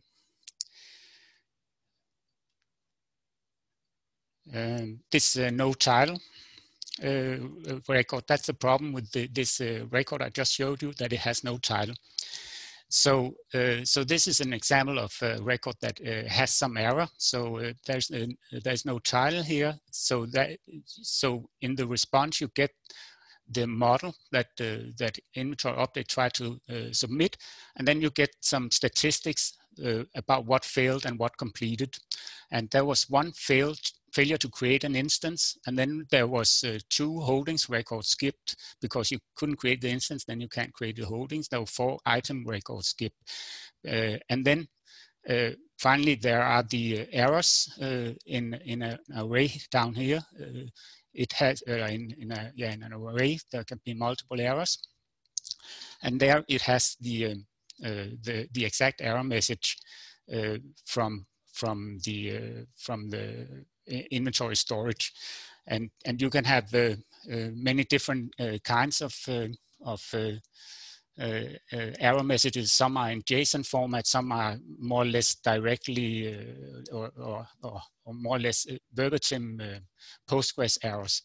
But, but this is an example of, of uh, this is an example example of a record with uh, multiple uh, referential issues. So that would be um, that would be uh, uh, uh SQL errors, and uh, you can see that there are problems with the holdings, location ID not existing, and with the and for for some for some of the items the per permanent loan type ID is not existing, stuff like that, and the the client can then use the metrics and the errors to uh, report back to, in this case, uh, uh in the harvester log, uh, uh, how how much succeeded, how much failed, and what were the errors, if if any. you can also delete, as Charles said, but uh, I'm not going to go uh, more into that because uh, of the time constraint. But but it basically uses the same uh, uh, components to do a delete, except of course there's no incoming record, so it doesn't create a model of, of what to update. But it based on the existing uh, record set, it finds out what to delete, and then it goes ahead and and delete that. Um, using these components, you can uh, they're designed uh, so that you can easily uh, create new uh, APIs. So the one that uh, that uh, Charles showed was the update inventory by HRID, where we assume that all records have human readable IDs. And we have another API that you maybe can show you some other time that is uh, related to reshare, where you update a shared inventory and where the identifier that you query by up here is actually a match key that is constructed by inventory update. So you have some opportunities to uh, to use the model and the uh, record set and the update plan to uh, basically create new uh, uh, Uh, update uh, logics. But but so far we have the these uh, two interfaces that do uh, insert updates and and deletes. And this is where you can find more information about the about the APIs. There are more details there. Yeah. Thank you, Niels. I'm sorry to rush you. Are you done? Yes, I'm done. I just need to All find right. the unshare button. All right, thanks so much. Okay, I guess we're gonna have to go a little bit over today. I know some people are gonna have to drop off at the hour, but these meetings are recorded, so you'll be able to come back and, and listen to the recording if needed. Um, so I think we can go ahead then, Mike, with your Z3950. Lovely, thank you. Uh, are you hearing me? We are. Good. And are you seeing a very exciting page from GitHub? yes, very exciting. Okay, brilliant. So the reason I'm showing you this is because it's uh, the Z3950 server is it's a new piece of software. Basically, it's it's along the lines of being an edge module. The point is that it lives in some sense outside of Folio and is a client to the inventory module. Um, so just as the GBV project is really all about getting stuff into inventory, this is one of the ways of getting it out again. So you're welcome to come in here, browse the documentation of which there is plenty. Um, most important being this document here on the capabilities of the Z3950 server. So we go into some detail about uh, how it supports authentication, searching, retrieval and sorting. Uh, and also how you can use it with the SRU protocol, which I'll show you in a moment. So uh, those of you who are familiar with Z3950, please do take a look over this and play with it. And we're keen to get bug reports. We are expecting them at this early stage. Um, let me just show you what it looks like. It never makes the most exciting demonstration. Uh, down here in the lower window, I'm running the server. You can see it's listening on a specified port and using the trusty old Yaz command line client, client I'm going to connect to that port and you can see this initialization request has been accepted. Uh, and if I do a search for, oh, can't type the word find, that isn't going to help. Can't believe I'm burning precious seconds by mistyping the word find, and then even more precious seconds by complaining about that fact. What an idiot. Anyway, uh, so searching as you would expect. Um, and if we show you the result, uh, the first of the records that are in here, you see by default this comes back uh, as a MARC record, which I know will give the more library focused folks there a nice warm feeling. Uh, but there's a bunch of different information we can see. So crucially, um, what's happening is instead of going straight to inventory, we're going through mod GraphQL, which knows how to fan searches out. So we're finding instances, but also the holdings records associated with those instances, and also the items associated with those. So we can see all of that information in the raw JSON format that it comes back. And if I show you that now in JSON, uh, as we scroll back through here, you'll recognize, if you're familiar with the inventory data model, you'll recognize the fields and the structures and all these created by user IDs that we don't necessarily need. But there they all are. And in among all this, you'll also see here we've got some holdings information and some items information. Um, so that's the JSON truth. But if you want to work with that in XML, um, it can also serve it in that form. So this is a literal translation of the, the JSON that came back. Or within the XML record syntax, you can also see it in other formats like uh, the USMARC representation in XML, uh, which again will be familiar to people who know MARCXML. Uh, and the interesting one, I think the most interesting of these is the uh, OPAC format, which is what you'll want for obviously supporting uh, OPACs, but more realistically uh, interlibrary lending. So this is, I'm showing you the same record each time, but in different formats. And if, if I scroll up a bit here, I've, I've made the font big. You'll recognize here's the same MARC record we saw before, but associated with that, we have the information about the holdings as well, including uh, where that information exists, uh, real-time availability information. So for the, uh, for the MARC portion, portion, Mike, is it yeah. creating a MARC on the fly or is it going and grabbing the source MARC record? Thank you. Crucial question. Yeah, at the moment, this is only working with SRS. So it's fetching Okay. the record from there um, and decorating that with the holdings and items information from folio inventory. So down the line, we certainly will want to make it so that you can also generate MARC records on the fly from inventory. And in fact, skeletal code is there to do that. Um, but nobody seems to actually have that requirement at this stage, so we've not put a lot of time into it. Um, we support all the Boolean operations, searching against a whole bunch of different uh, fields. So, for example, uh, we can find um, those of you who know your Z3950 bib1 attribute set will recognize 1 equals 4 as meaning a title search. So, books that are either about water or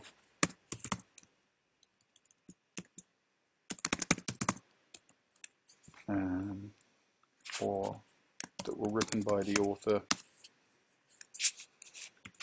Sorry, I should have figured out what I was going to type before I started. Uh, by the author Hill. Uh, and down here, you can see in this window, it tells you how it's translating this. And you can, if you recognize your folio CQL, especially if you use the so-called query search in the inventory module, you'll see this title equals water or contributors uh, with the relation modifier name is Hill. So you, you'll recognize um, that that's the CQL that's getting translated to. And we also support uh, Z3950 sorting, which I won't bore you with at the moment. So generally, all the, the details of that are in the document. So uh, do play with the Z3950 client of your choice. The last thing I want to show you is that um, the same server also supports SRU, which is the an XML over HTTP protocol for searching data stores of various kinds. And it'll provide you the exact same information, but this time uh, using URL. So you can see up here in the URL bar, all the information is just in query parameters. So uh, particular, here's the query, looking for title equals A, how many records we want to get back, and that we want to see it in the OPAC schema. So here it is, it's come back in the OPAC schema. As before, there's a, an XML uh, rendition this time of the MARC record. And down at the bottom, this is the, uh, the OPAC availability, uh, shelving locations availability and whatnot. Um, and as before, uh, we can get this information in various different formats.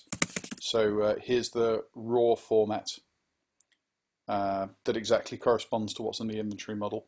And that's most useful if you want to uh, debug what's what, what you're seeing in the other record formats and you want to see what's the real truth that this came from.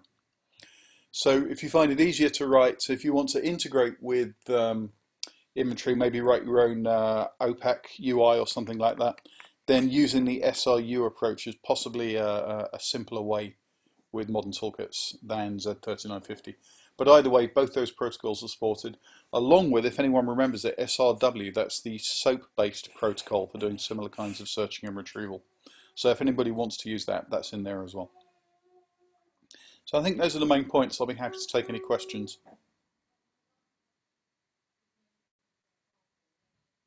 Stunned silence. Craig asked, is this multi-tenant in the chat? Ah, um, that's, that's the very next thing on the to-dos actually. So at the moment, the configuration, I'm going to show you what the configuration looks like. Uh, you can see that it has uh, various things wired into it. So the Okapi information, uh, so it looks at these environment variables, Okapi URL, uh, tenant, to figure out uh, where to uh, connect to. Uh, and the bits that come after the hyphens in there, that's a bash-like substitution syntax. That's it's just convenient for running this if you don't set the variables, those are default values. And there's a bunch of other stuff in this configuration as well. Here you'll recognize this index map is saying how the various bib1 use attributes are mapped to CQL um, indexes. Um, so what we want to do is make it so that uh, the Z3950 database name that you're searching in uh, is used to specify which tenant. You'll have noticed if you're a sophisticated Yaz command line client user that when I connected earlier I didn't even bother specifying a, a database name at all and just said what port to connect to and that's because the database name is currently ignored. So the plan is that will determine the tenant um, so that you will use a single server running on a uh, um, on a host to serve Z3950 for the multiple instances that are on that host.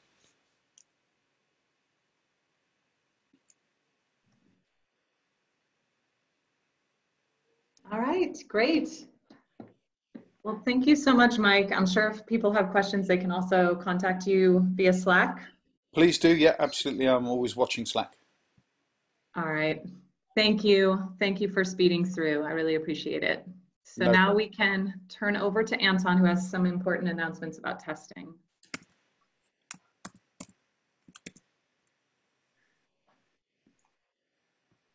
Okay. Hello, everybody. I hope you can see my screen. So let's um, plow through this because it's important stuff, but everybody numb and tired after two hours of presentations. So it's a perfect time to tell you something important. Uh, UI testing team was working for a couple months to come up with the guidelines. You can see people who more or less were involved in what I'm about to tell you. Uh, so general guidelines going forward, uh, some of them are staying, some of them are new. So we're keeping 80% code coverage requirement for, for tests. So if you have a module uh, you need to, uh, the acceptance criteria should be that you have at least 80% test code coverage.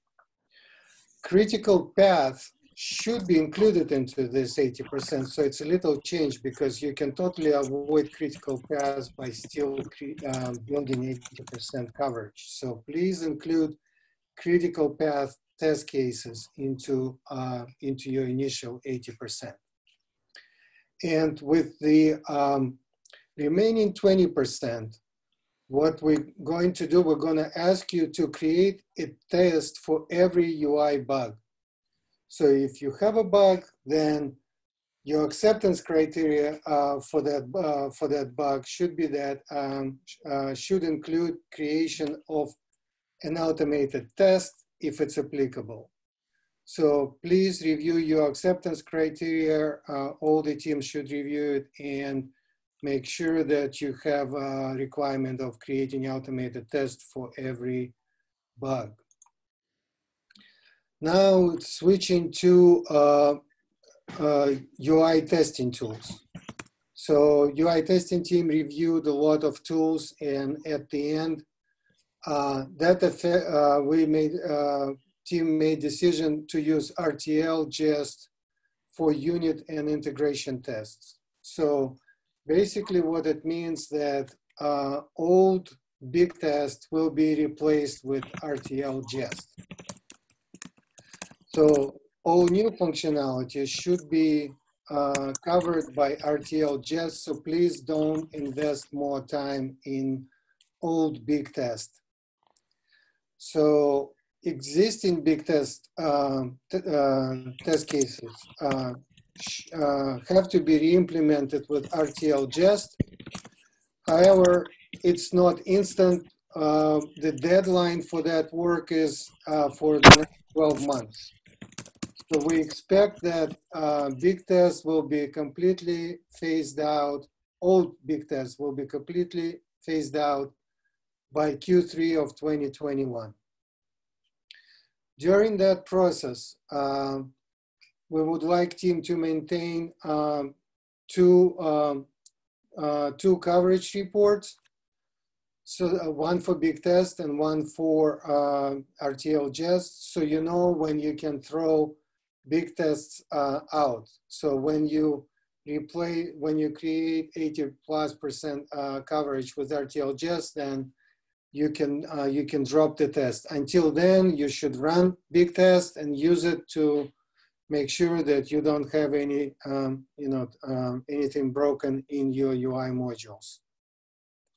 So uh, there will be DevOps work involved to enable uh, two coverage reports in your uh, in uh, respective UI module builds, and it mostly will be uh, DevOps tasks, not developers, uh, not developer developer task.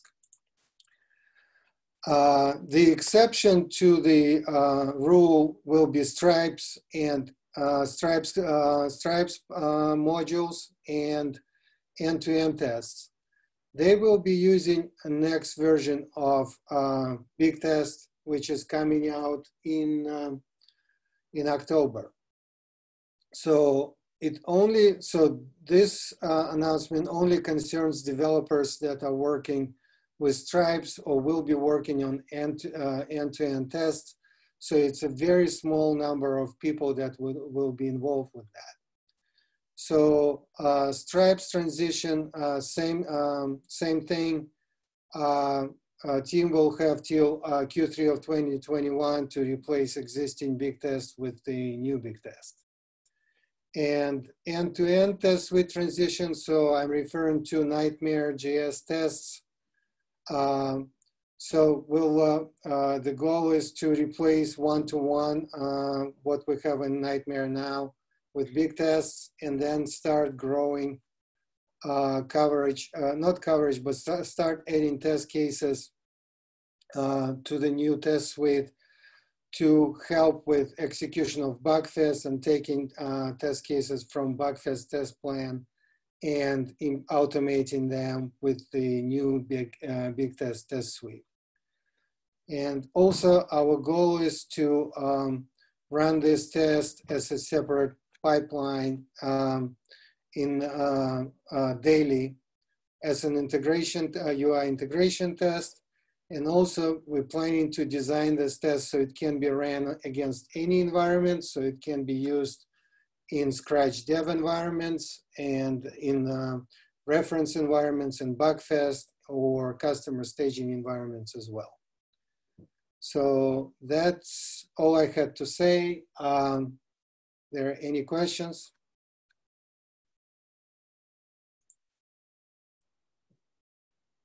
So we're not, we don't have quarters in 2021, at least for the development cycles. So is it really end of Q3 2021 or end of the third release in 2021?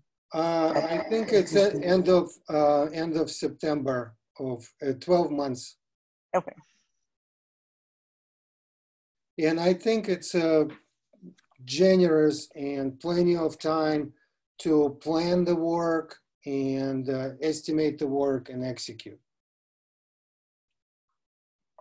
I just have one question. Um, as I understand, uh, we can freely um, start with this, I mean, introducing jest uh, after this uh, DevOps activity is done, right? You can start developing tests now and run them locally, and I don't think it will take us a long time to uh, add another step to UI um, uh, UI uh, build to to run uh, RTL Jest and collect separate um, Istanbul report on it.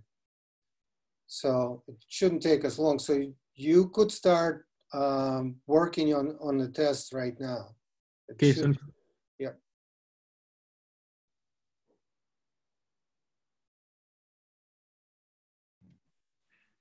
All right. And I assume if people have questions, they can reach out to you on Slack. Anton. Absolutely. Yes, absolutely. And there's a link in the presentation to UI testing team. So there are meeting notes and um, uh, there are recordings of the meetings if somebody uh, somebody is interested. But okay. that's pretty much what um, UI testing team decided to do going forward. So. All right. All right. Well, thank you for the update, Anton. Uh, and thank everybody for all the excellent demos um, today. I appreciate uh, your staying late. Um, we'll share the recording, so if anyone had to drop off, they can catch, catch up there. All right. Thanks so much. Have a great rest of your day.